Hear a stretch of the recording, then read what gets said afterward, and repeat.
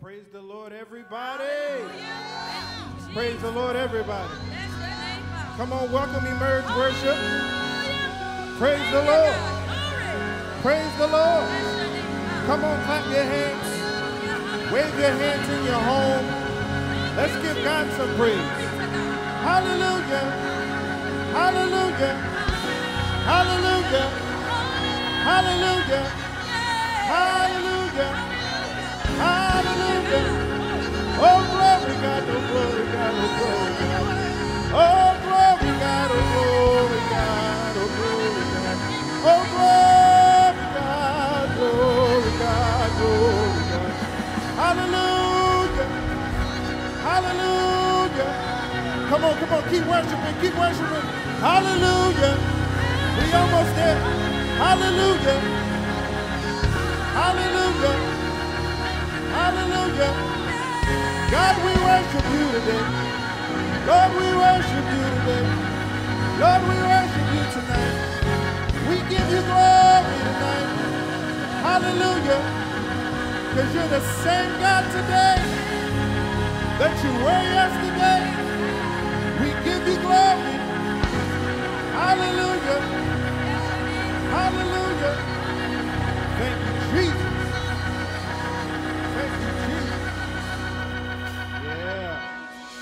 We hope you feel welcome. We hope you feel the presence of God even through the screen. We thank you so much for joining us every week, every Saturday. Your faithfulness is not going unnoticed. We thank God for you. So if you don't mind, let's pray. As I was preparing for tonight, even singing and I was talking to God, and He told me that there, there is an after this, that we need to prepare for what's going to happen after this. This is why we're still stuck in this moment because He's preparing us for what's going to come. He wants us to have the faith and He wants us to be prepared for what's going to happen. So I'm going to pray for your preparation today. I'm going to pray for your faith. I'm going to pray for your strength because some of us are waning because it's been taking too long for things to go back to what we used to be. And now we need God to strengthen us in the area of our faith and in our courage and in our discipline. So let's pray. Father, thank you once again for this day. Thank you, God, for this opportunity in this moment. I just want to say thank you for hearing me, God. I stand here knowing that you always do and that I'm not worthy of your goodness, but you've been good. Thank you for your sustaining power, your keeping power. Thank you, God, for your love towards me. Thank you, God, for your love towards us. Because the people standing behind me are evidence that you are still good and you're still keeping. Now, God, I pray for those who will be listening, those who will be watching. Some of us, our faith and our preparation is waning. I ask you, Lord, to strengthen us in that area. I ask you, Lord, to give us the courage we need to continue to press on and to press towards the after this. I know that there's a glory after this, there's a power after this, there's a resurgence after this. And God, we need your presence today. I ask you, Lord, to put us back on that wheel, to mold us, to make us, to shape us, make us more like you. Oh, I like that. Mold me, Lord. Make us, Lord. Shape us, Lord. Make us more like you. Mold us, Lord. Make us, Lord. Shape us, Lord. Make us more like you. Fill us with your Holy Spirit. Now, God, bless this time of worship. Let it be impactful for those who need it. Bless the man of God as he comes to deliver the word as usual. In Jesus' name we pray. Amen. Now, come on, let's praise his rise.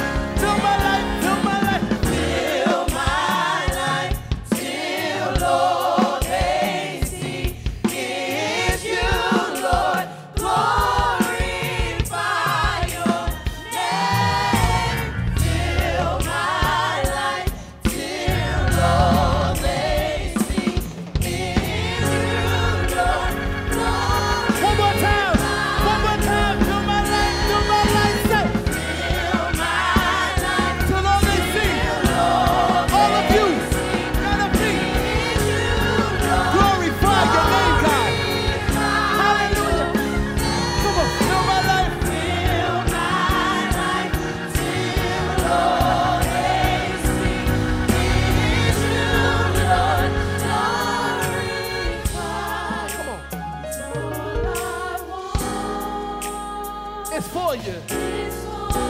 You. To be glorified. Come on, y'all. You to be lifted high.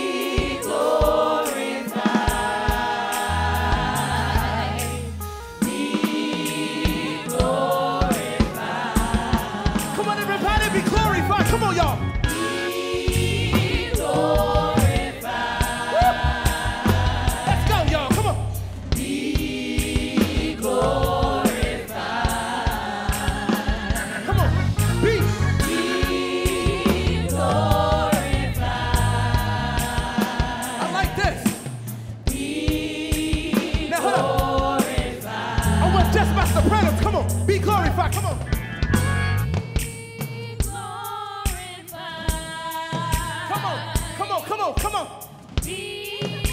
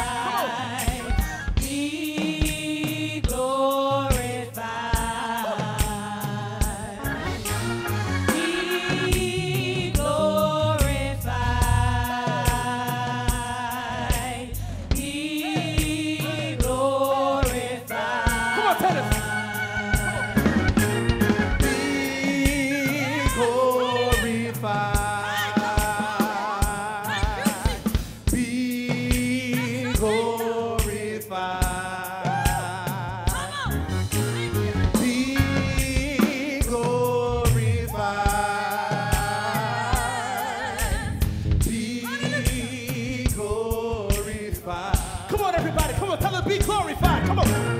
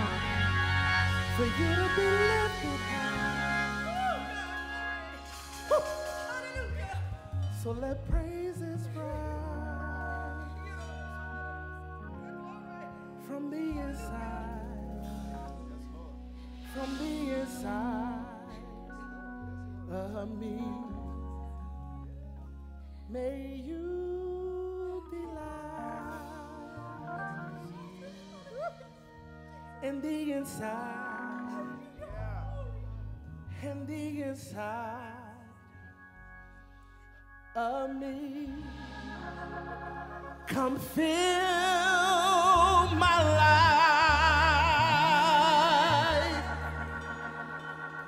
from the inside from the inside of me. Set me on fire from the inside, from the inside of me. Cause all I want is for you. For you to be For you to be lifted high. All I want woo, is for you you to be glorified, for you to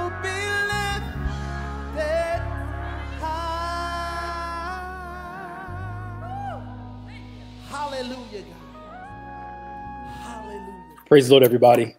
Uh, Pastor Nick here with another emerging worship service. We hope you enjoyed uh, our emerging worship group. Uh, thank you all for tuning in. This is our service for our young people, millennial on down. Um, as we come together, our youth praise team sings and uh, try to give you word and be able to believe God together. Um, we hope you're enjoying uh, our emerging worship services. Please do me a favor and share, share, share as much as possible. Let people know we're on today as we continue to learn about the kingdom of God. We're in a series about Jesus and the kingdom, and he came to preach the kingdom. And this kingdom um, requires faith. And we're going to continue to delve into faith. We started this last week and continue to talk about how faith is effective in the kingdom of God. Come on, let me pray for you first. Father, thank you for this moment. We appreciate you for this time. We thank you, Lord, for how you've allowed us to see this day. I pray in the name of Jesus that you would begin to open the hearts and minds of all of us so we can hear your word, we can understand it. We need your insight, we need your guidance. Pray that you would save somebody tonight. Reclaim a backslider, connect someone to this house.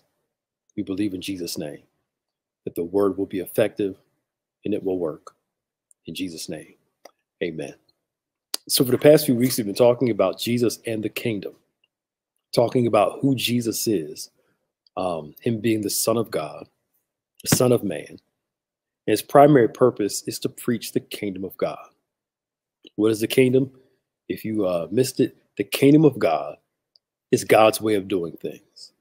The kingdom of God is God's way of doing things. God has a purpose, He has a method, He has a way of doing things in the world. And He wants us to follow that way because we have a way, but it's not the best way. He has a way, it's the best way. Ours leads to destruction, His leads to life, which means I have to learn to trust what God asked me to do and trust Him that He knows what He's doing. It's quite frankly, um, no matter how old you are watching this, we don't always know what to do all the time. We thought the decision we made was the right thing, but it turned out to be the wrong way, which tells me that there was another way of doing things. And Jesus has that way of doing things. So, uh, we start talking about faith last week and kingdom faith. And we talked about how uh, faith is the substance of things. I mean, faith is required to please God, that we need faith to uh, make sure that He is pleased. And when we have faith, we come to Him, we come to Him and believe that He is a rewarder of them that diligently seek Him. First dimension of my faith is to believe that God is. I believe that He exists. And then He rewards those who diligently seek Him. Faith is also important to the Word of God, too.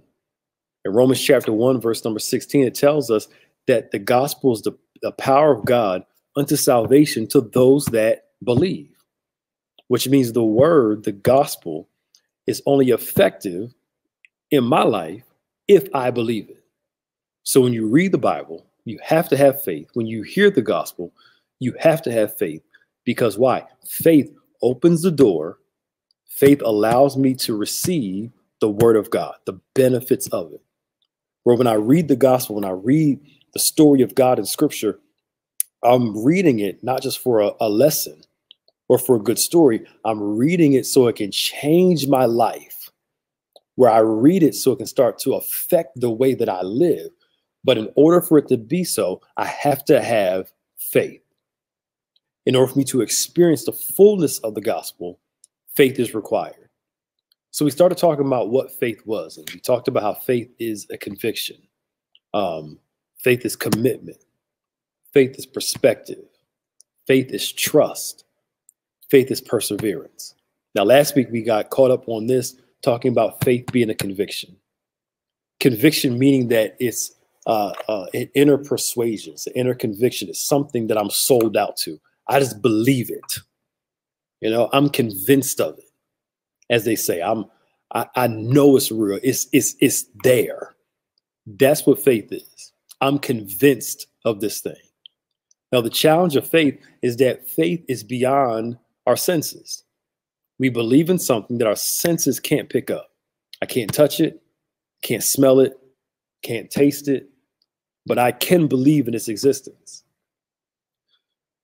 The Bible says that uh, that uh, taste and see that the Lord is good.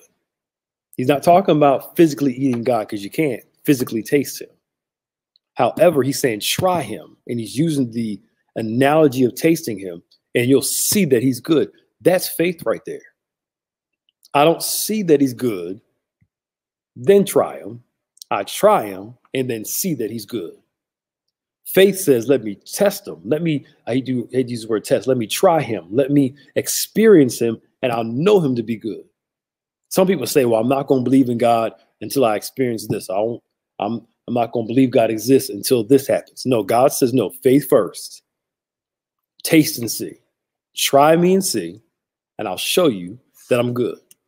Now, last week we got caught up on this uh, verse, and I'm not going to stay here too long.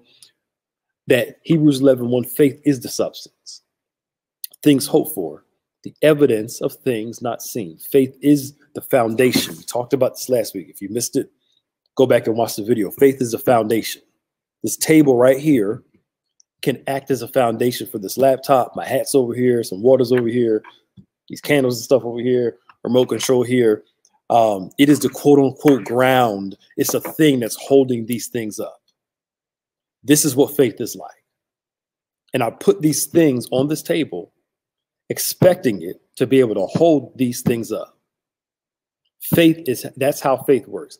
I I expect something because I know it's strong enough to hold me up. So I can trust in God. I can believe in Him. I can expect Him to do what He says He's going to do. And my faith is the foundation of that. Because I trust Him enough, I believe Him enough that my faith becomes the foundation, the platform of my hope, positive or negative. And if we get start talking about this, we won't finish like last week. So, so by faith, by faith, what I believe in dictates what I expect. If I believe it's always going to be bad, I'm always going to expect bad. If I believe in the goodness of God, I'll expect to see the goodness of God. Because God has already promised us his goodness when we have faith. Doesn't mean bad things won't happen. It just means that I learn to trust him enough that my faith, watch this, pleases him because I believe him beyond my senses. I can't touch God. Uh, there's a story that's running through my mind about Thomas. The Bible says Jesus raises from the dead. The he sends the women to go get disciples. Disciples come. Thomas doesn't go to the grave. They come back and say, Thomas, Jesus has risen from the grave. We went to the grave. He ain't there. Thomas says, unless I see him, touch him, feel him, I won't believe. Jesus shows up and says, Thomas, put your hold, put your hands in my holes, you know, touch my side. And Thomas said, Man, it really is you. And Jesus says, Yes. And he says, Thomas, yeah, you believe because you see. But blessed are those, watch this, y'all, who believe and don't see. Blessed are those who believe and don't see. God wants you to know that He wants you to believe in that fashion. It believe it pleases Him when you believe, even though you can't see Him. It's beyond my physical senses. I can't touch him, but I know that he's real. How do I know he's real? We used to sing this song growing up. I can feel him deep in my soul. Yes, God is real. He's real to me. I know what he's done in my life. I know what he's doing in my life. And I know what he will do because I know that he is real. It's a personal relationship. Because why? You must believe that he is and that he's a rewarder of them that diligently seek him, which means I got, there's something on my part. I got to come to him. And I got to diligently seek him. I come to him believing that he is, and my diligence in prayer, my diligence in word, my diligence in following him, my diligence in obeying him, him to release a reward, which means that faith without works is dead. I can't just say I, I can't say I believe it and there's no actions that are impacted by my belief system. Because what I believe dictates what I expect, and what I expect dictates how I act. What I believe dictates what I expect, what I expect dictates how I act. If I believe I'm not smart, I'll expect not to be. Then I'll do things to confirm I'm not smart. I feel like my life is going to be terrible, I expect it to always be terrible, and watch this. I do things to make sure it's terrible. If I believe something, actions, works must go along with my faith. So this picture is man sitting on his faith, and all he has to do is learn to put his faith to action, and the car will move. If you learn to put your faith to action, God be, can begin to move in your life.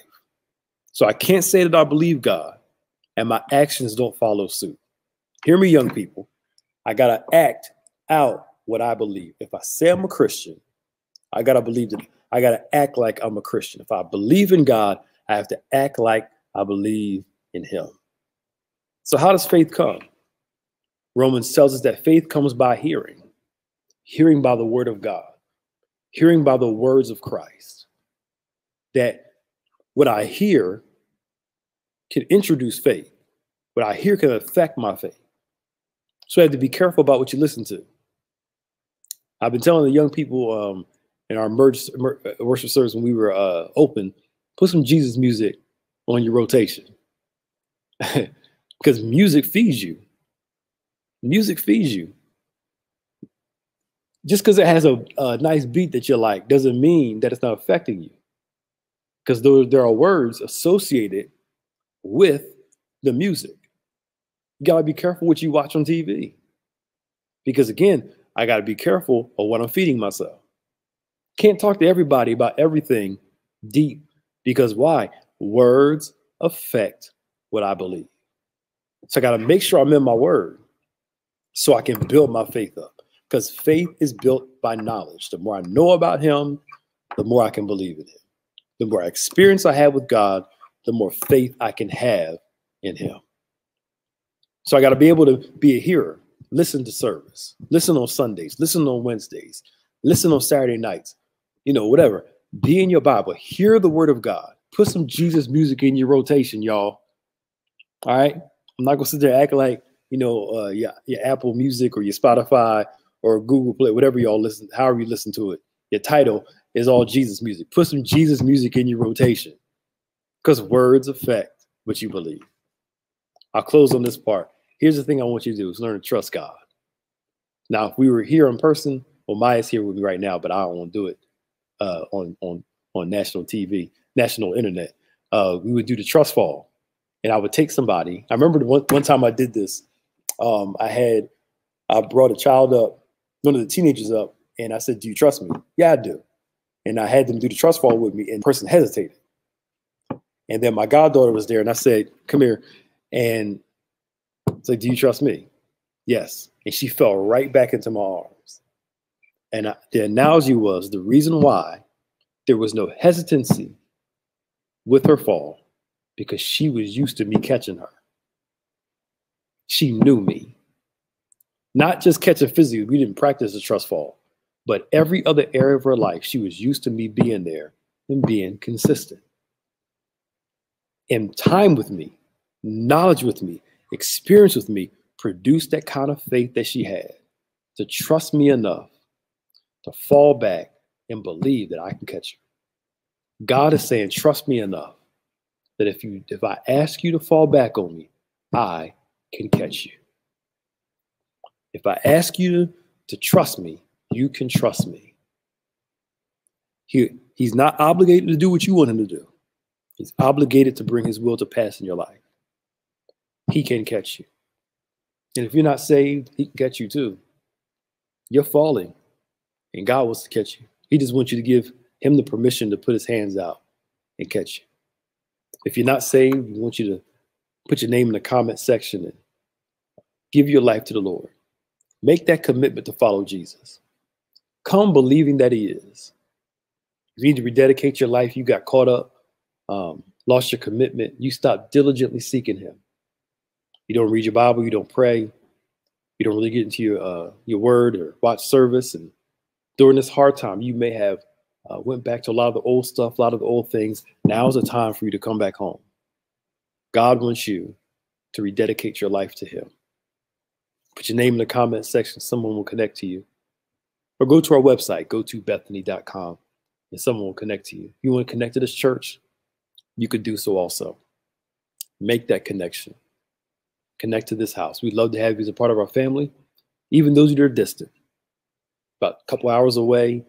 Um, especially our young folk, your, your, mom, dad can't get here, you know, or they don't go to church, but you want to connect. You can connect um, to be a part of uh, this church. put your name in the comment section, or you can email connections church at go2bethany.com. Again, it's connections church at go2bethany.com. Uh, at this time, you can give. Um, we teach our young people to give. Sit down with them uh, at the computer. All the information is on the screen right now. And whatever, whatever device you're on, teach them how to give. Walk them through the process as you give to God right now. Your tithe, your offering, a sacrifice. Um, you can do so tonight uh, for this emerge worship service, especially teach our young people to do so. Give them some, you know, back in church, you give them a quarter, give them a dime, give them a dollar, let them give an offering. Do it virtually now because we believe God in his process that giving does change things. All right, y'all. We hope you enjoyed today's lesson. We'll be back next week with some more on the kingdom and faith as we talk about how Jesus taught on faith and the kingdom of God. We love you. We appreciate you. We miss you guys. And we'll talk to you soon.